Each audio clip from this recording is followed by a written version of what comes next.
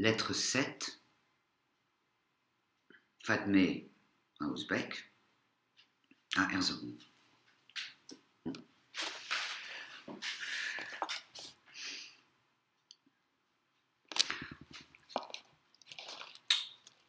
Il y a deux mois que tu es parti, mon cher Ouzbek.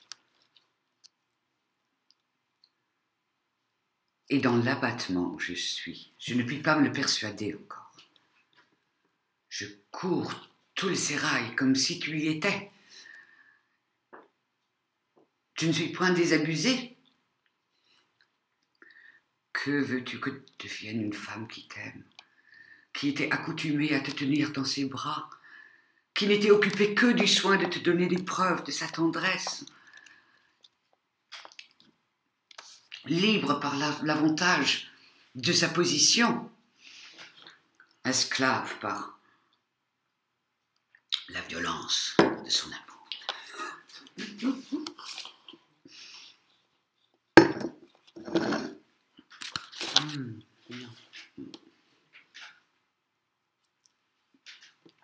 Quand je t'épousais,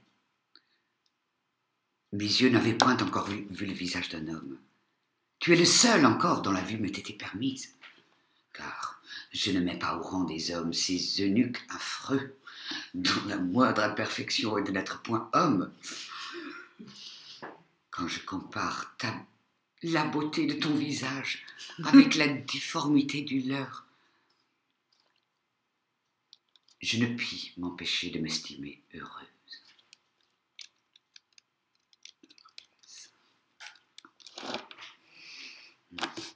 Mon imagination ne me fournit point d'idées plus ravissantes que les charmes enchanteurs de ta personne.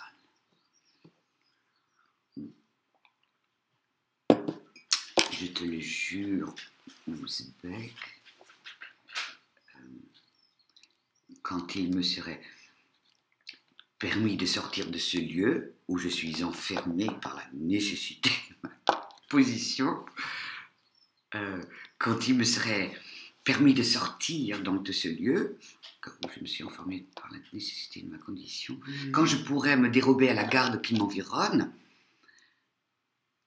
quand il me serait permis de choisir par- parmi tous les hommes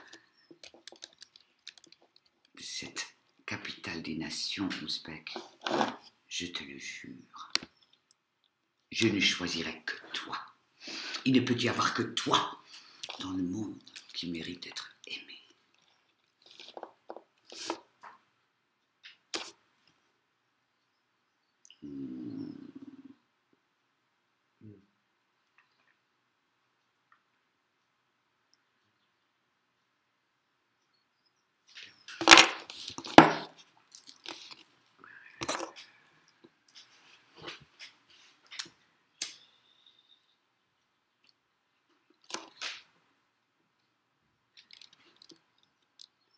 Ne pense pas que ton absence m'ait fait négliger une beauté qui t'est chère. Quoique je ne doive être vue de personne, et que les ornements dont je me pars soient inutiles à ton bonheur, je cherche cependant à m'entretenir euh, dans l'habitude de, de plaire. Euh, euh, je, je ne me couche point que je ne me sois parfumé des essences les plus délicieuses. Je me rappelle alors ce temps heureux où tu venais dans mes bras. Un songe flatteur qui me séduit, me montre ce cher objet de mon amour. Mon imagination se perd dans ses désirs comme elle se flatte dans ses espérances. Je pense quelquefois que, dégoûté d'un pénible voyage, tu vas revenir à nous. Euh, euh, la nuit euh, Se déroule, se se passe, passe, se passe. ouais. La nuit, se La passe. nuit se passe Dans, dans des songes dans des songes euh, qui n'appartiennent ni à la veille ni au sommeil. Mhm. Je te cherche à mes côtés. Il me semble que tu me fuis. Enfin, Le feu qui me dévore dissipe lui-même ses enchantements. Voilà. Et rappelle mes esprits. Je me trouve pour lors si animé. Tu ne le croirais pas, Uzbek. Il est impossible de vivre dans cet état. Le feu coule dans mes veines. Attends. Le feu coule dans mes veines. Point. Attends. Euh, Le, feu coule dans mes veines. Voilà. Oh, que, je ne puis, que ne puis-je t'exprimer ce que je sens si bien?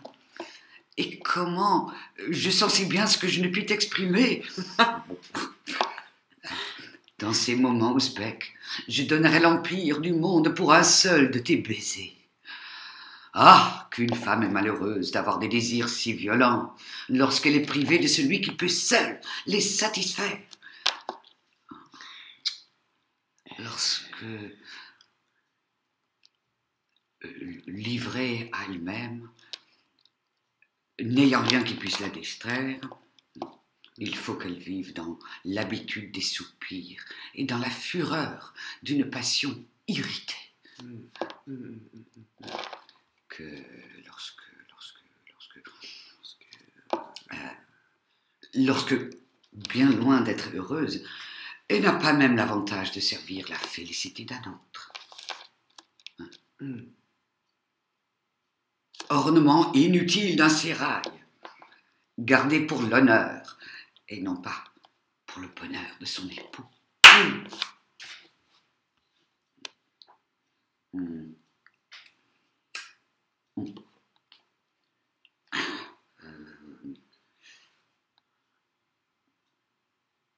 Vous êtes bien cruels, vous autres hommes. Voilà. Vous êtes charmés que nous ayons des passions que nous ne puissions pas satisfaire.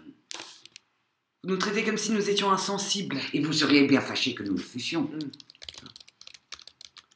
croyez que nos désirs, si longtemps mortifiés, seront irrités à votre vue?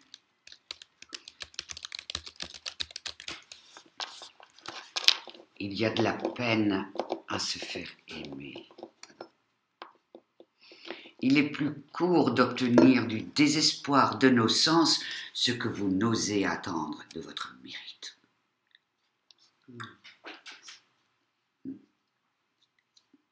Bon, euh, adieu, Adieu, mon cher Uzbek. adieu.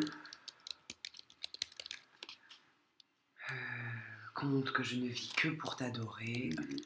Mon âme est toute pleine de toi. Ton absence, bien loin de te faire oublier.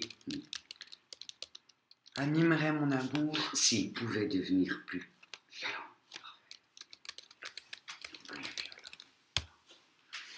Du sérail disparant le 12 de la lune de Rebiab,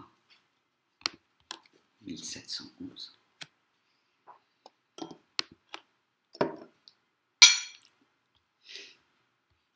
Música